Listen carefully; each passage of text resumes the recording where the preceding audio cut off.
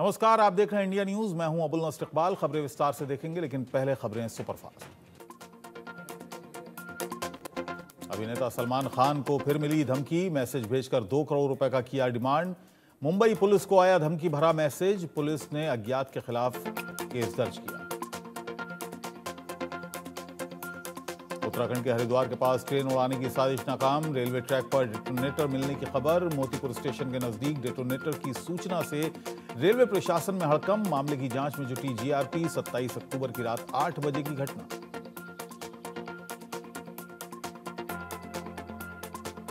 जम्मू कश्मीर के किश्तवाड़ में क्रुच्छल इलाके में बीती रात लगी भीषण आग। आग की चपेट में आए कई घर और दुकान। कड़ी मशक्कत के बाद दमकल गाड़ियों ने आग पर पाया काबू।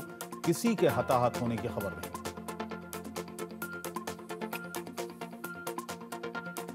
नोएडा के लोटस ग्रेनेडियर बैंकेट हॉल में लगी भीषण आग। दम घुटने से एक इलेक्ट्रीशियन की हुई मौत, आग से लाखों का नुकसान। नोएडा के सेक्टर चौहत्तर का है मामला।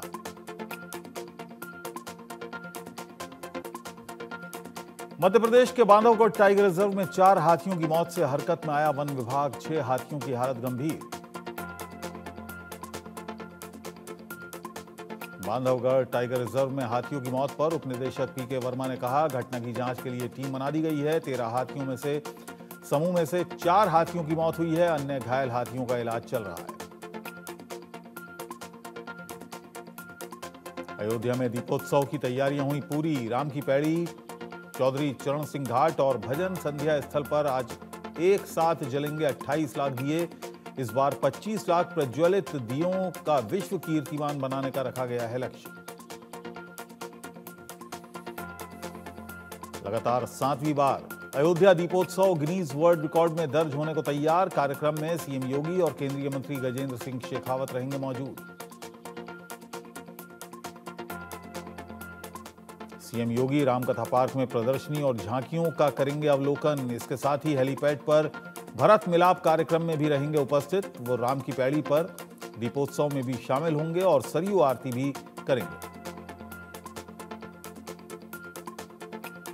दिवाली से पहले अयोध्या को रंगीन रोशनियों से किया गया जगमग। राम भक्तों के लिए बड़ी खुशखबरी। 500 साल बाद राम जन्मभूमि में रामलला विराजमान। इस बार की दिवाली सबसे खूबसूरत।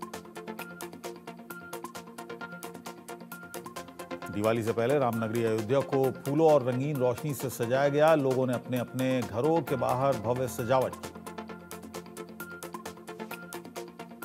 राजस्थान की डिप्टी सीएम दिया कुमारी ने जयपुर के हरमांडा की झुग्गी बस्तियों के साथ मनाई दिवाली। केंद्रीय कानून मंत्री अर्जुन राम मेघवाल ने बीकानेर एयरफोर्स स्टेशन पर सेना के जवानों के साथ मनाई दिवाली। हैदराबाद में चार मीनार स्थित भाग्यलक्ष्मी मंदिर को दिवाली के मौके पर रंग बिरंगी लाइटों से सजाया गया। मंदिर की खूबसूरती देखते ही बन रही है। वृंदावन में रहने वाली विधवा माताओं ने मंगलवार शाम को यमुना नदी के तट पर दीप जलाकर मनाई दीपावली। वृंदावन के ऐतिहासिक केसी घाट पर विधवा माताओं ने जलाए रंग बिरंगे दिए। दिवाली से पहले उदयपुर जिला कलेक्टर अरविंद पोसवाल ने पुलिस और प्रशासनिक अधिकारियों के साथ शहर में फ्लैग मार्च करके सुरक्षा तैयारियों की समीक्षा की। दिवाली को लेकर पूरे शहर को रोशनी से जगमग किया गया।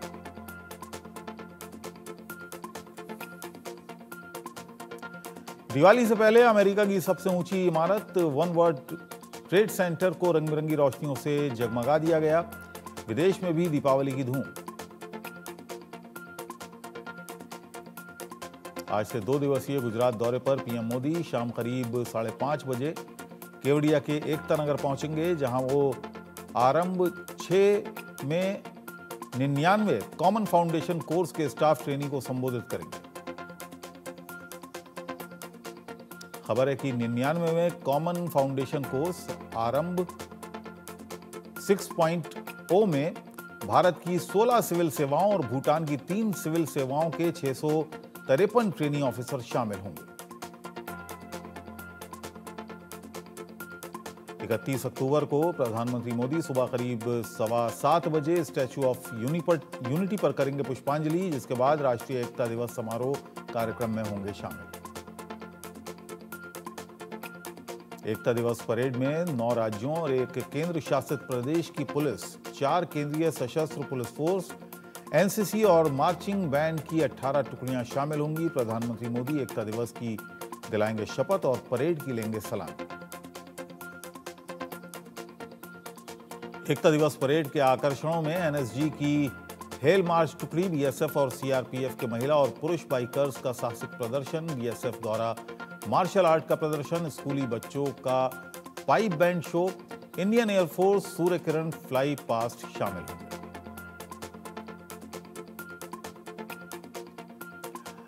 सत्तर साल से ऊपर के बुज़ुर्गों को पीएम मोदी ने धनतेरस और आयुर्वेद दिवस के मौके पर दिया बड़ा तोहफा। आयुष्मान भारत प्रधानमंत्री जन आरोग्य योजना पीएमजे में सभी वर्गों के बुज़ुर्गों को किया गया शामिल।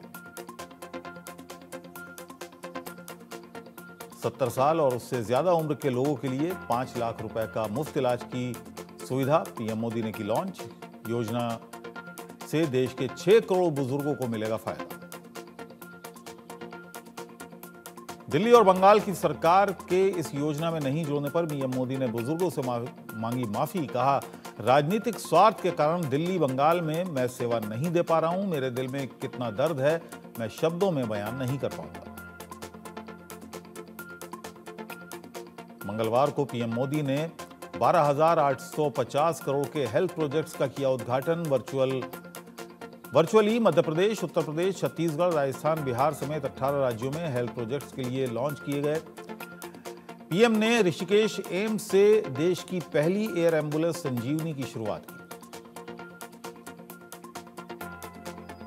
महाराष्ट्र चुनाव आयोग ने जारी किया प्रेस नोट जानकारी देते हुए बताया कि महाराष्ट्र विधानसभा के 100 288 निर्वाचन क्षेत्रों में चुनाव के लिए सात हज़ार नौ सौ पिचानवे उम्मीदवारों के 10,905 नामांकन पत्र दाखिल किए गए शिवसेना नेता शाइन आयनसी ने महाराष्ट्र विधानसभा चुनाव के लिए मुंबा देवी विधानसभा से अपना नामांकन दाखिल किया। शाइना के नामांकन में समर्थकों की जुटी भारी भीड़। जम्मू कश्मीर के मुख्यमंत्री उमर अब्दुल्ला ने federation of commerce and industrial Kashmir के प्रतिनिधिमंडल के साथ बैठक की, राज्य के आर्थिक विकास के लिए की चर्चा।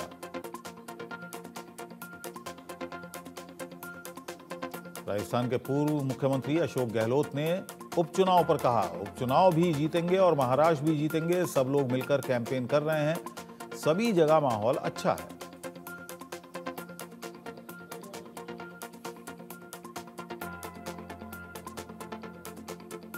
कश्मीर के अखनूर में बड़े हमले को अंजाम देने आए थे तीनों पाकिस्तानी आतंकी। सुई धागे से लेकर सोलर पैनल और अमरीकी एम फोर कार्बाइन लाए थे साथ उनको बैकअप दे रही थी पाकिस्तान की खुफिया एजेंसी आईएसआई।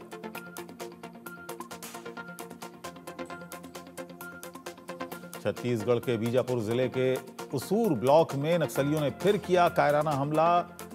उत्केल में दिनेश पुजारी की नक्सलियों ने की निर्मम तरीके से हत्या, घर में बुलाकर नक्सलियों ने की हत्या। शातिर लुटेरों पर कहर बनकर टूटी कानपुर की Fazalganj police. ADCP central Mahesh Kumar के नेतृत्व में हुआ हाफ़ एनकाउंटर, रोकने पर लुटेरों ने पुलिस पर किया फायर, पुलिस की गोली लगने से दो लुटेरे घायल। दिल्ली सहारनपुर नेशनल हाईवे पर तेंदुए का शव बरामद। तेंदुए की सड़क पार करते समय अज्ञात वाहन की टक्कर से मौत की संभावना। मौत के सवाल पर वन विभाग चुप। साथी, जवान की पिटाई से भड़के सीआरपीएफ के जवानों ने थाने में घुसकर दरोगा को जमकर पीटा। कार में बाइक छू जाने को लेकर एसएसएफ जवानों और एक दरोगा के बीच हुआ था विवाद। नशे में धुत पीआरओ आशीष यादव ने एसएसएफ के जवानों को गेस्ट हाउस में ले जाकर की थी लाठी डंडों से पिटाई।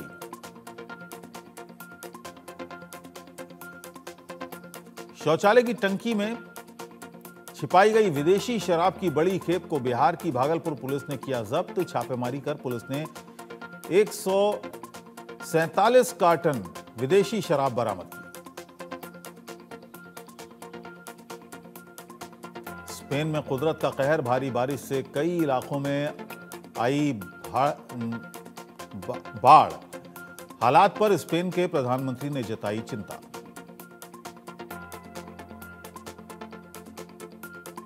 भारत ने फिलिस्तीन की मदद के लिए फिर बढ़ाया हाथ। 30 टन मेडिकल सप्लाई फिलिस्तीन के लिए की रवाना। विदेश मंत्रालय के प्रवक्ता रणधीर जायसवाल ने सोशल मीडिया प्लेटफॉर्म एक्स पर पोस्ट कर दी जानकारी।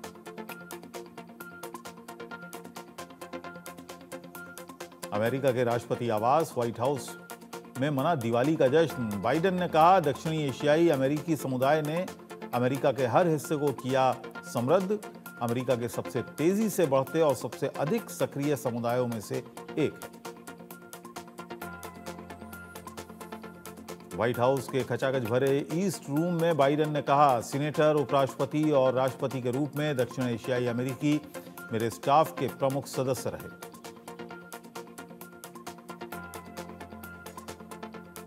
बाइडेन ने कहा, दक्षिण एशियाई अमेरिकी समुदाय दुनिया में सबसे तेज़ी से बढ़ने वाला, सबसे व्यस्त समुदाय है। अब दिवाली उत्सव, व्हाइट हाउस में गर्व से मनाई जाती है। ये मेरा घर नहीं है, आपका घर है। बांग्लादेश में पूर्व पीएम शेख हसीना की पार्टी के छात्र लीग पर लगा बैन। पत्रकारों को चेतावनी, कहा, आतंकियों के प्रचार में भूमिका ना निभाए पत्रकार। छात्र लीग को आतंकी संस्था बताया गया। बांग्लादेश में अल्पसंख्यकों पर अत्याचार जारी। बांग्लादेश की यूनुस सरकार में नहीं थम रहा हिंदुओं पर अत्याचार। हिंदुओं ने सुरक्षा के लिए कानून बनाने की सरकार से मांग की, साथ ही मांगे पूरी नहीं होने तक प्रदर्शन जारी रखने का किया ऐलान। बांग्लादेश में हिंदुओं के साथ भेदभाव जारी। सरकारी नौकरियों से हिंदुओं का जबरन लिया जा रहा है इस्तीफा। चटगांव विश्वविद्यालय के प्रोफेसर रोन्टू दास से जबरन लिया गया इस्तीफा।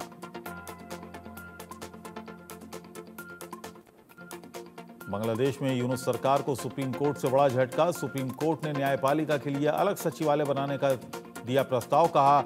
न्यायपालिका से कानून मंत्रालय का निर्णय नियंत्रण खत्म होगा।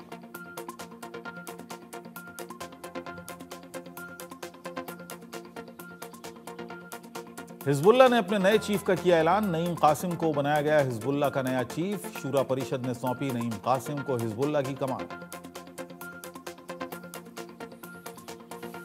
इसराइली रक्षा मंत्री का हिजबुल्ला को जवाब, ज़्यादा दिन नहीं टिकेंगे हिजबुल्ला के नए chief, Naim Qassem Naim Qassem पर जल्द टारगेट हमला करेगा इसराइल इसराइल के मिलिट्री चीफ ने कहा, अगर ईरान जवाबी हमला करता है तो पूरी ताकत से देंगे जवाब।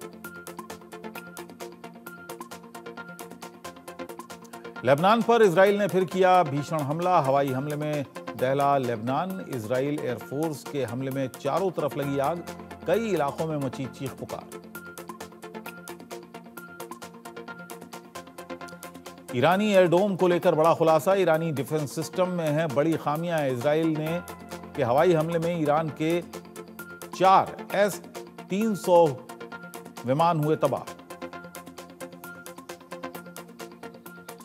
इसराइल के साथ युद्ध जैसे हालात के बीच ईरान बढ़ाएगा अपना रक्षा बजट। अपने सैन्य बजट में 200 फ़ीसदी बढ़ोतरी करेगा ईरान।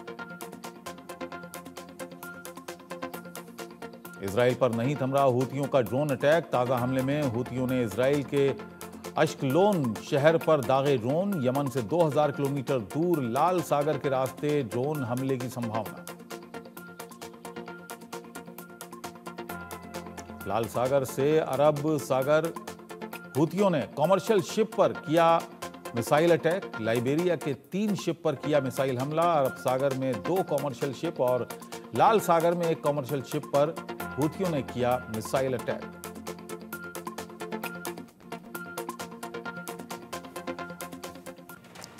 और बड़ी